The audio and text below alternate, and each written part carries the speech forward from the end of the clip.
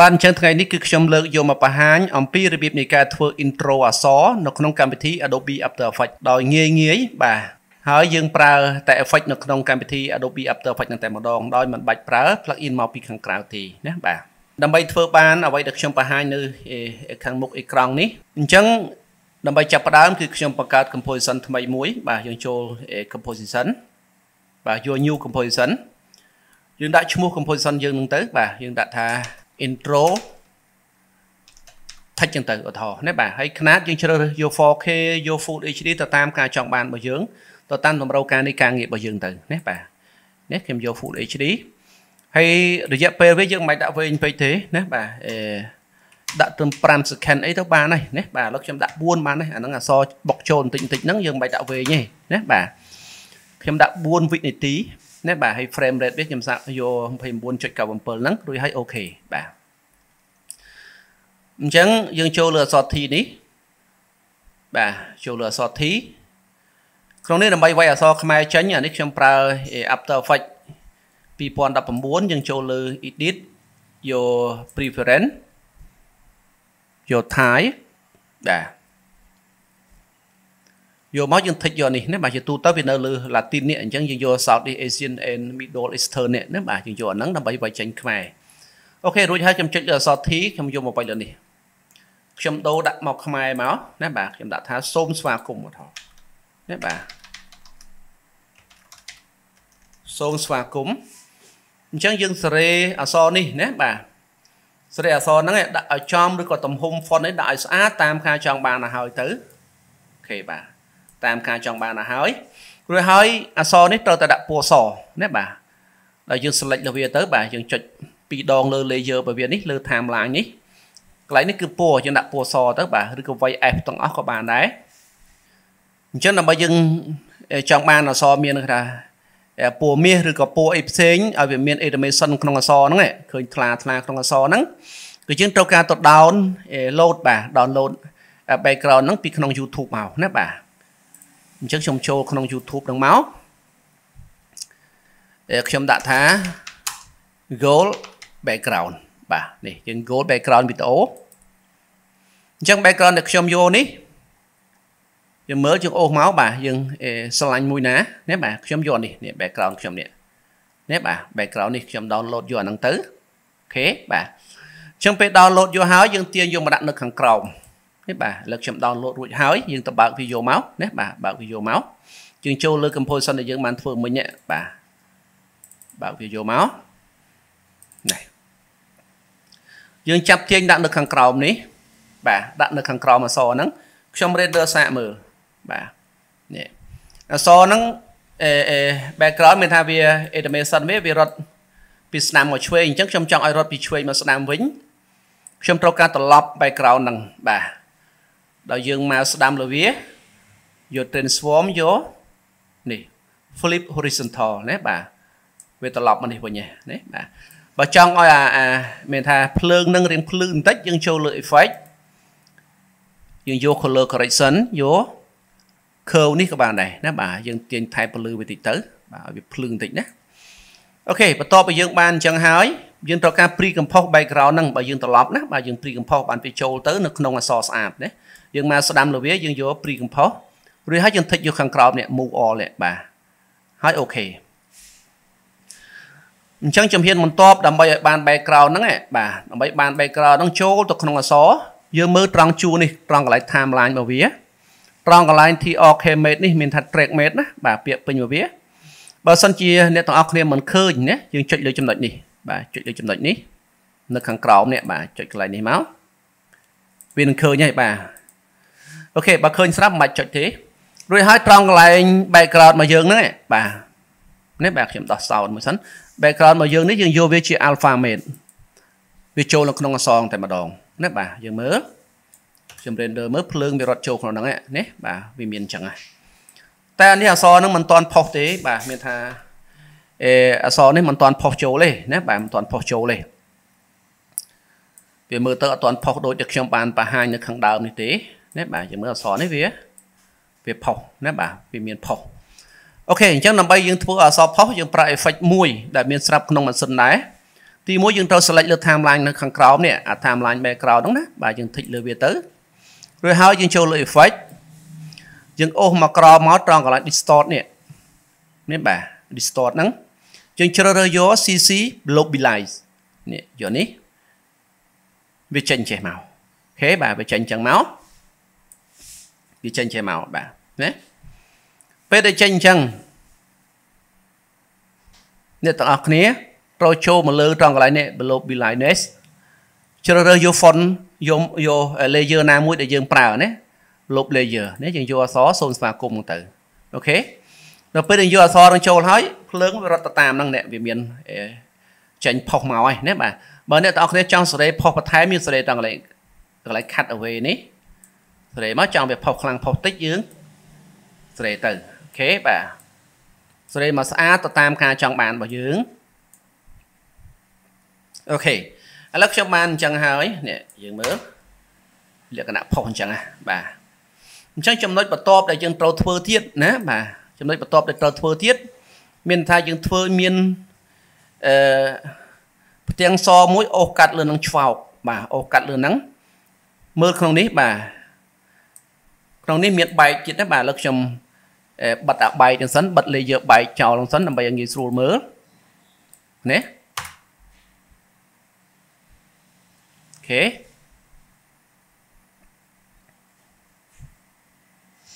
នេះវាមានភ្លើងរត់កាត់ចេះចឹងដើម្បីធ្វើភ្លើងនឹងបាន បាទដើម្បីធ្វើភ្លើងនឹងបានអ្នកទាំងអស់គ្នាត្រូវចូលមក composition យើងនឹងវិញដោយយើង copy នេះ layer អសងមួយទៀតណាបាទរបៀប copy វាគឺយើង duplicate ណាបាទអាចចូលលើ edit យក duplicate ឬក៏ control អក្សរ D ណាបាទវាបាន2ហើយវាចេញមកនេះយើងបើកភ្នែកវាមកវិញមកបាទវាចេញពណ៌អក្សរអញ្ចេះបន្តទៅទៀតអ្នកទាំងអស់គ្នាគ្រាន់តែម៉ាស់ណាបាទចុចលើ pen tool នេះរ៉ាអក្សរនេះផ្ដេកយើងអាច select រៀងផ្ដេកដែរទៅឃើញស្អាតណាបាទយើងផ្ដេកទៅតាមតម្រងអក្សរដែរទៅប៉ុណ្ណេះដល់ខ្ញុំយកអញ្ចេះនេះបាទដាក់ត្រឹមប៉ុណ្ណេះនេះគឺវាម៉ាស់ចូលហ่ะបន្តទៀតដើម្បីធ្វើឲ្យមាន automation យើង select កន្លែងនេះណាបាទយើងពលាវាទៅយើងពលាវាត្រង់កន្លែងម៉ាស់នេះណាបាទគឺយើងត្រូវការ set key frame ត្រង់កន្លែង mass path បាទរួចហើយយើងចុចលើ tool នេះបាទ selection tool ចុចពីរដងលើវាយើងចាប់អូសមកក្រោយអូសមកឲ្យផុតមកហើយយើងចាប់ទាញមកមុខចង់វាដើរដល់ប៉ុណ្ណាថាខ្ញុំដើរដល់ប៉ុណ្នេះណាយើងចុចពីរដងលើវាទៀតឲ្យចេញស្នាមអញ្ចេះចុចពីរដងឲ្យចំលើ select ដែលយើងអឺ មានថាលើម៉ាស់ដែលយើងបានម៉ាស់មុនហ្នឹងហើយយើងចាប់ទាញទៅវាដើរមកហើយអូខេបាទទាញឲ្យផុតទៅអញ្ចឹងអាហ្នឹងបើសិនជាយើងចង់ឲ្យមើលឃើញដល់មានថាអសហ្នឹងវាមានមើលទៅផុសមើលអីចេញហ្នឹងយើងត្រូវការសេរីត្រង់កន្លែង opacity ត្រង់នេះណាបាទ opacity កន្លែងនេះបាទសេរីទៅអញ្ចឹងខ្ញុំ render មើលយើងចុចលេខ0មួយមក លើ keyboard ឬក៏ space ក៏បានដែរណាបាទវាទៅអញ្ចឹងណា OK ណា OK បើសិនជាអានេះយើងចង់ឲ្យបានលឿនតិចយើងទាញមកមុខតិចអានេះសម្រាប់យើងធ្វើពេលវាបុកចូលណាបាទនេះគេវាចេញមកអញ្ចឹងអានេះបើមើលទៅវាភ្លឺពេកយើងបន្ថែម opacity បន្តិចទៀតណាឲ្យវា dark បន្តិចឃើញស្អាត OK បាទ អញ្ចឹងនៅពេលដែលបានអញ្ចឹងហើយបាទពេលបានអញ្ចឹងហើយដើម្បីធ្វើឲ្យបុកចូលដូចខ្ញុំធ្វើនេះបាទណាបុកចូលនេះឃើញទេបាទបុកឲ្យវាមាន blur អញ្ចេះនេះវាមានអញ្ចេះបាទឃើញទេចូលភ្លឹបទៅឲ្យមានភ្លើងចេញមកខាងក្រោមនេះអូខេអញ្ចឹងដើម្បីធ្វើបានអាហ្នឹងគឺយើងចូលទៅក្នុង intro របស់យើងនឹងវិញបាទ position composition ដែលយើងបាន array ហ្នឹងយើង select លើវាទាំងអស់យើងត្រូវការ pre compose យើងមកស្ដាំលើវាយើងយកពាក្យថា pre compose ថិចយកក្រោមនៅគ្នាហើយអូខេណាបាទអូខេអញ្ចឹងក្នុងហ្នឹងយើងចាប់ automation វាចង់បានប្រមាណ frame ណាបាទខ្ញុំយកត្រឹមប៉ុណ្ណេះពេលណាយើងចាប់ឲ្យវាបុកពីធំទៅតូចយើងសេរីត្រង់កន្លែង scale នេះយើងសិតត្រង់កន្លែង scale នេះមានថាយើងទាញមកប្រហែល frame ត្រឹមប៉ុណ្ណេះ scale ណាបាទរួចហើយទាញមកក្រោយ ចាប់បរិយាវាភាគរយវាមកដល់ប៉ុណ្ណេះណាបាទខ្ញុំ render មួយ វាចូលចេះណាបាទតែចូលមកវាអត់តមាន motion blur ទេដើម្បីដាក់ motion blur នឹងឲ្យចូលបានគឺយើងចូលទៅប្រើ effect មួយទៀតដល់ចូលលើ effect យើងអូសមកក្រោមមកត្រង់កន្លែង generate បាទណាត្រង់កន្លែង generate យើងយកពាក្យថា cc libers ណាបាទយកកន្លែងហ្នឹងវាចេញចេះបាទចេញចឹងមក អញ្ចឹងពេលចូលមកដល់យើងអត់ចង់វានៅលើពេលបុកមកដល់គឺវាច្បាស់វិញអញ្ចឹងអ្នកទាំងអស់គ្នាត្រូវមកសេរីកន្លែងនេះអ្នកទាំងអស់គ្នាត្រូវសិត key frame មកពីនេះបាទសិតមកពីនេះត្រង់កន្លែងនេះយើងដាក់0នេះយើងដាក់0ហើយយើងទាញមកក្រោយវិញទាញមកក្រោយកន្លែងនេះយើងសេរីត្រង់កន្លែង relate នឹងឲ្យវាវែងឲ្យវាធំទៅវាឃើញព្រាលហើយយើងចាប់ទាញមើលបាទនេះវាព្រាលមកអញ្ចឹងឃើញទេបាទផ្លឹបចូលមកអញ្ចឹងអូខេ នេះបាទខេបាទអ្នកនរគ្នាចង់ត្រឹមប៉ុណ្ណេះរហូតចូលដល់ប៉ុណ្នេះចង់ឲ្យសេរីវាមាន motion បន្ថែមខ្លាំងតិចទៀតសេរីបន្ថែមអានេះណាបាទចុចមួយទៀតទៅវាចូលមកហើយអូខេពេលចូលមកដល់ភ្លឹបអញ្ចឹងហើយអ្នកទាំងអស់គ្នាត្រូវចាំដើម្បីបានភ្លើងដូចដែលខ្ញុំបានបង្ហាញនេះណាដូចខ្ញុំបានបង្ហាញនេះនេះរត់នៅខាងក្រៅមកឆ្វោកនេះអានោះគឺយើងប្រើ plug in មួយឈ្មោះថា optical flare ណា បាទ optical flare ខ្ញុំនឹង free ឲ្យនៅក្រោមវីដេអូរបស់ខ្ញុំអ្នកទាំងអស់គ្នាគ្រាន់តែចូលទៅ download ណា download ហើយ extract copy folder ហ្នឹងចូលទៅក្នុងអេ After Effects support file plug in ផាសក្នុងនោះទៅគឺវាស្គាល់ហើយណាបិទឲ្យបើកមកវិញមកគឺស្គាល់ហើយអញ្ចឹងយើងត្រូវការបង្កើត layer new យក solid មួយទៀតខ្ញុំដាក់ lane flare lane flare ណាបាទខ្ញុំអូខេ វាចេញមកចេះបាទវាចេញមកចេះបន្ទាប់មកទៀតយើងចូលមកត្រង់កន្លែង effect and preset អូសមកក្រោមមកត្រង់កន្លែងនេះ video copilot យើងទាញមក optical flare ចាប់ដាក់លើនឹងទៅបាទអញ្ចឹងក្នុងនេះដើម្បីវាមើលដល់ background យើងមកមើលត្រង់កន្លែង effect control នេះនេះត្រង់កន្លែង render mode យើងយកវា on transparent បាទ on transparent ចឹងទាញមកដល់មុខដើម្បីយើងងាយស្រួលមើលរួចហើយយើងចូលត្រង់កន្លែង option ណាបាទចូល option បាទចូល option ខ្ញុំបរិយតិចមកក្នុងនេះដើម្បីយើងងាយស្រួលមើលយើងអាចចុចលើនេះបាទបរិយធំមកយើងចុច clear clear all ចុចចោលទៅហើយ yes ដល់យើងមកជ្រើសរើសត្រង់កន្លែងនេះ preset browser នេះបាទហើយយើងចូលជ្រើសរើសមួយណាក៏បានដែរមានច្រើនណាអ្នកទាំងអស់គ្នាអាចជ្រើសរើស style ណាមួយដែលយើងពេញចិត្តបានណាបាទ អញ្ចឹងក្នុងនេះអ្នកទាំងអស់គ្នាអាចសេរីមកសំខ្លួនឯងណាបាទមកស្អាតដោយខ្លួនឯងខ្ញុំមិនមិនធ្វើវែងឆ្ងាយច្រើនទេពាក្យព័ន្ធមួយអាហ្នឹងសំខាន់អ្នកទាំងអស់គ្នាយល់ហើយអាចសេរីខ្លួនឯងបានបាទអញ្ចឹងខ្ញុំអូខេពេលអូខេវាធ្លាក់មកអញ្ចេះអញ្ចឹងយើងចាប់វាយកមកដាក់ពីក្រោមនេះបាទដល់យើងព្រមត្រង់កន្លែង scale នេះបាទព្រមឲ្យតូចមកសំសិនទៅបាទនេះប៉ុណ្ណឹង រួចហើយយើងបុកចូលប៉ុណ្ណឹងហើយអានឹងវាដើរខ្ញុំបន្តត្រឹមប៉ុណ្ណេះយើងវាដើរណាយើងទាញមកមុខអញ្ចឹងឲ្យវាដើរយើងត្រូវការសិតត្រង់កន្លែង scale ត្រង់កន្លែង position 2នេះណាបាទ brand នេះនេះយើងសិតខាងមុខហ្នឹងឲ្យហើយរួចហើយយើងទាញមកក្រោយនេះវិញដល់ទាញត្រឹមប៉ុណ្ណេះយើងសេរីអ្នកសេរីនេះ position នេះទាញវាផុតចេះអ្នកទាំងអស់គ្នាអាចចុច shift លើ keyboard ពេលទាញវាលឿនណាបាទវាចូលមកផុតអញ្ចេះរួចហើយអ្នកទាំងអស់គ្នាអាចចុច scale មកដល់0 OK វាចូលមកឆ្វោកចេះពេលហើយវាចូលមកហើយយើងទាញដល់ចុងបំផុតដល់យើងសេរីនេះវិញវាដើរបានតិចឃើញស្អាតណាបាទឃើញស្អាត OK បើសិនជាអ្នកទាំងអស់គ្នាចង់ឲ្យវាមានថានៅខាងក្រោមមកសគ្រាន់តែទាញ layer មកខាងក្រោមនេះមកឥឡូវជំរឿខ្ញុំ play មើល OK ណា OKបន្តមកទៀតយើងធ្វើអីគឺយើងធ្វើឲ្យវាបែកមិនចឹងទេបាទរបស់ខ្ញុំនេះគឺលោតចេញមកបែកអ្នកខ្ញុំបើកឲ្យវិញយើងមើល បែកខ្ចាយតែម្ដងណាបាទអញ្ចឹងបាទបែកខ្ចាយណាខេបែកនេះយើងចូលមក composition យើងវិញយើងត្រូវការ copy អាហ្នឹងបាទយើង copy វាជា2 layer មក layer ដែលយើងធ្វើអក្សរហ្នឹង control អក្សរ D ណាបាទឬក៏ចូល edit យក duplicate ហ្នឹងតែបែកនេះគឺយើងត្រូវការដោះ position ដោះ scale នេះចោលហើយ loop effect នេះចោលនេះបាទនេះ effect នេះ effect CC light burst នេះដែលយើងដាក់ blur នេះ loop អានឹងចោលហើយ key frame នេះក៏យើងដោះចេញដែរយើងឈរមកកដានេះឬក៏ដាក់ត្រឹមប៉ុណ្នេះមកយើងដោះ key frame នឹងចោលមានថាយើងអត់ធ្វើ animation ទេយើងគាត់ដាក់វា load box ត្រឹមប៉ុណ្នេះយើងទាញអានេះមកដាក់ដល់ខាងនេះបាទដាក់ដល់ខាងហ្នឹងយើងអាចបិទភ្នែកឲ្យលើចោលសិនរួចហើយយើងចូលលើនេះណាបាទចូលលើនេះឬក៏ចូលលើ effect នេះដែលយើង select លើ layer ហ្នឹងបាទ ចូលលើ effect យើងអូសមកក្រោមមកឃើញចំណុចនេះបាទ simulation បាទហើយយកពាក្យថា setter ឬក៏អ្នកទាំងអស់គ្នាអាចវាយត្រង់កន្លែងនេះលើ effect and preset វាយពាក្យថា setter មកនេះ setter ចាប់ទាញយកមកដាក់តែម្ដងពេលចាប់ទាញមកវាចេញចេះបាទវាចេញអញ្ចឹងអញ្ចឹងដើម្បីឲ្យវាចេញជារូបរាងនៃអក្សរហ្នឹងបំបែកមកយើងមកមើលត្រង់កន្លែង ខ្ញុំដាក់នេះធំល្អមើលបន្តិចបាទស្រួលមើលយើងមកមើលត្រង់កន្លែង effect control បាទ effect control នេះត្រង់កន្លែងនេះបាទ view យើងចុចយកវាជា render បាទណា render វាចេញ style នេះមកយើងមើលនេះវាបែកចេះណាតម្រង់វាបែកអញ្ចឹងពេលបែកហ្នឹងយើងជ្រើសរើស style បែកទៀតណាបាទ style បែកគឺយើងចូលមកក្រោមនេះណាបាទនេះត្រង់កន្លែង shape នេះត្រង់កន្លែង pattern នេះ នេះតម្រង់បែកបើចង់ឲ្យបែកបានស្អាតខ្ញុំយក glass នេះយកនេះ style តម្រង់បែកនេះបាទនេះអ្នកទាំងអស់គ្នាអាចរើសអាផ្សេងផ្សេងបានតម្រង់ដែល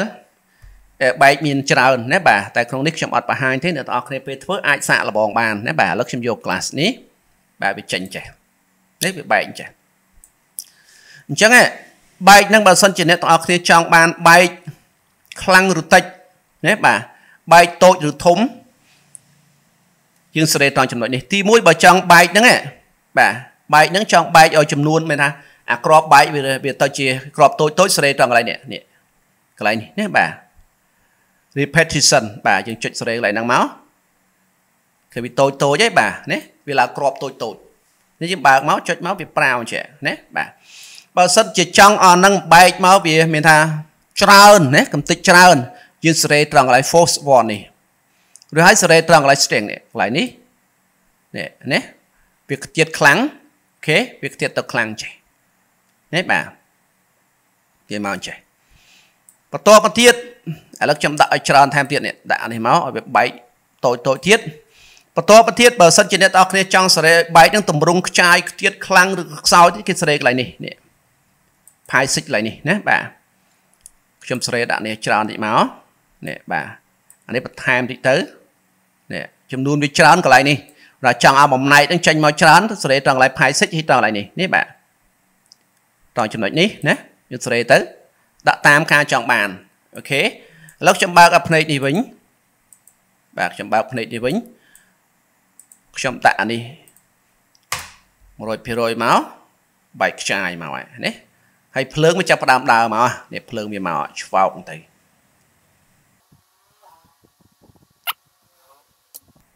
ភ្លើងរត់ឆ្វោកនេះបាទអ្នកទាំងអស់គ្នាចង់បានច្រើនចង់បានតិចសេរីតាមអ្វីដែលខ្ញុំបង្ហាញប្រហែលចំណុចហ្នឹងគឺបានស្អាតហើយណាបាទអញ្ចឹងបើសិនជាចង់ធ្វើតគ្នាដូចខ្ញុំធ្វើនេះបាទចង់ធ្វើតគ្នាខ្ញុំធ្វើមាន3ហើយខ្ញុំយកមកគងលើគ្នាបាទនេះខ្ញុំដាក់ intro 1 2 3អញ្ចឹងទៅណាបាទខ្ញុំធ្វើនេះនេះបាទ អ្នកទាំងអស់គ្នាធ្វើម្ដងមួយម្ដងមួយរួចហើយបង្កើត composition ថ្មីដាក់ final ដូចខ្ញុំទៅឬក៏ដាក់អីមួយក៏បានដែរចាប់ទាញ intro ចាប់ទាញ composition ទាំង3ហ្នឹងបញ្ចូលគ្នាដាក់ឲ្យគងលើគ្នាទៅបាទតែប៉ុណ្ណឹងគឺរួចស្រេចបាទចុះរបៀប export យើងធ្វើម៉េចដើម្បី export ទៅច្បាស់ល្អអ្នកទាំងអស់គ្នាអាចចូលលើ composition យកនេះ add to render នេះឬក៏ចុច control M ណាបាទយើងចុចមក ខ្ញុំទាញមកលើបាទនេះខ្ញុំ export ច្រើនអញ្ចឹងយើងលុបចោលនេះបញ្ចេញកន្លែងនេះបាទនេះ render នេះ